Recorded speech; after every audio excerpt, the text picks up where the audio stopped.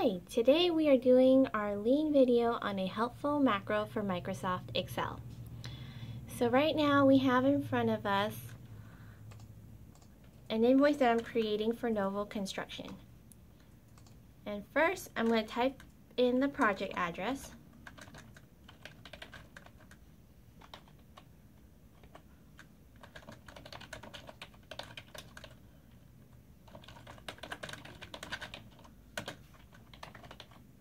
And then I'm going to double check my work.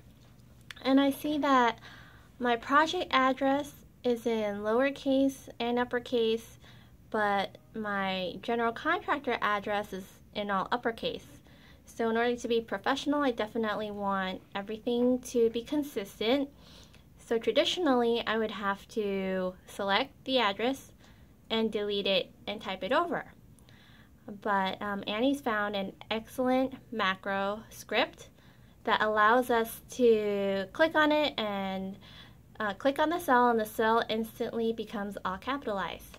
So I'm going to do that right here. I'm going to click on Proofpoint and then my macro here is called personal uppercase and then I just click the macro and it automatically changes all my case to uppercase.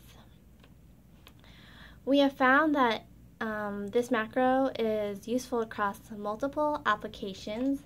For example, a lot of our jobs are exported straight off the queue, which is our data management program for our jobs. And when it's exported into Excel from the queue, it comes in whatever format the jobs were originally typed into the system. So you see here, some of these jobs are a mix of uppercase and lowercase, and some of them are all uppercase.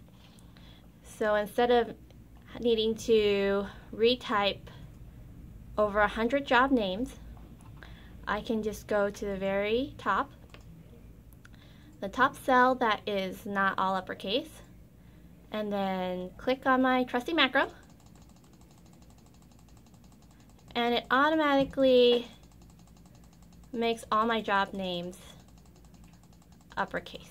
Nice and professional looking.